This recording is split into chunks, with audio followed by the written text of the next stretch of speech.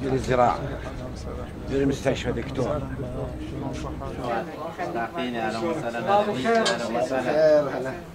سيادة المحافظ بعد أن عم الأمن والأمان في ربوع محافظتنا لا ينقصنا إلا الخدمات بكل أشكالها. الأخبار مدمرة بالكامل زين عندنا أزمة تقريبا الأعفار يكون لها اهتمام خاص. آه، اليوم طبعا إحنا جينا في فترة إذا نتكلم على إعداد الموازنة. آه، يا دوب لحقنا نراجعها مراجعة سريعة. كانوا الإخوان في الإعمار والتخطيط مشتغليها. بس آه، سوينا ورش عمل. أظن جنابك حضرتها. الإخوان حضرتوها. المفروض إنه دخلتوا ملاحظاتكم عليها. عموما فيما يتعلق بمشروع الماي من ارجع هو صار عليه إجراء فيما يخص القناطر. الطريق الواصل أنا هسه من جهة من موصل إلى تل عفر امتداد إلى ربيعه وسنجار. إحنا ماخذين بنظر الاعتبار بالاضافة إلى هذا. الاتراك انطونا قرض 5 مليار لفتح منفذ مباشر من الخابور إلى الأراضي العراقية تحت سيطرة تحت سيطرة الحكومة المركزية. وطريق يربط ما بين المنفذ آه، بغداد مرورا بهذا الطريق. أما فيما يتعلق بالقلعة راح ادز الاعمار يسوون؟ كشف آه، بشكل عام اكو توجه لإعادة إعمار المناطق الأثرية بس ما ما أعرف في تحت سيطرة ال- ال- الآثار أم لا. نعم تحت سيطرة.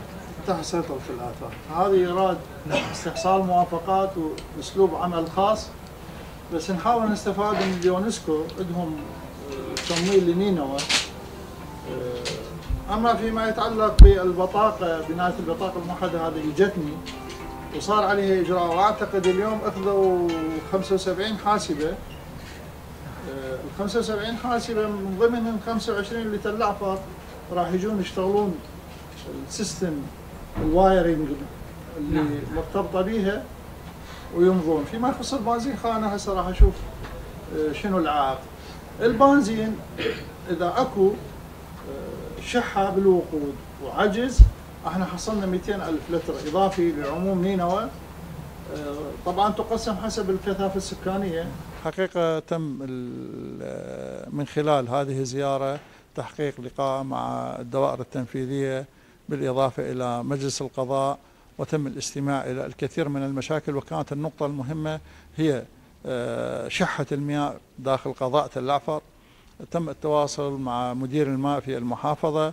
آه، كانت هناك عشر حوضيات تعمل لتزويد الأهالي بالماء. تم تعزيزها بعشر آليات أخرى. يصبح المجموع 20 آلية.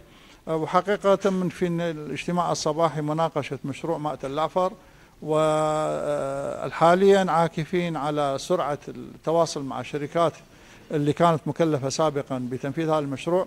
لمعالجة الإشكالات اللي آه، تمنع مباشرتهم بالعمل لتأمين الخط الناقل من منطقة أبو ماريه باتجاه العفر لزيادة الطاقة ال- ال- ال- سعة المياه اللي آه، يتم ضخها إلى تل عفر لمعالجة الخلل بالإضافة إلى موضوع جامعة تل عفر والشروع بالمباشرة بإنشاء البناية بالإضافة إلى المراكز الصحية وهناك كان عندهم مشاكل آه، في قطاع التوزيع في الكهرباء. تم الاتصال بالجهات ال- بالجهات المعنية وأخذنا خطوات لغرض معالجة الخلل في هذه المنطقة عاكفين على إنه من من هذا الأسبوع آه، بالمباشرة بإجراء زيارات ميدانية إلى كافة الوحدات الإدارية آه، في المحافظة لغرض الاستماع بشكل مباشر إلى مشاكل تلك الوحدات ومع اتخاذ القرارات آه، الآنية الفورية لغرض تخفيف العبء واختزال الوقت من المخاطبات والمراجعات. الحقيقة هو حال حال أي منطقة آه، في نينوى منطقة نينوى مرت بظروف قاسية جدا ما أثر على الوضع الخدمي في كل القطاعات. فشأنها شأن باقي القطاعات إلا أنه إحنا ماضين بالتنسيق ويا وزارة الصحة على آه، توفير البنى التحتية لمعالجة الوضع الصحي آه، بأقرب وقت. إلا أنه حاليا نركز على ضرورة تأمين الخدمة الفورية للمواطن حسب ما متوفر وبالاستعانة بالجهات الدولية ووزارة التخطيط والجهات الممولة الأخرى على المرحلة القادمة.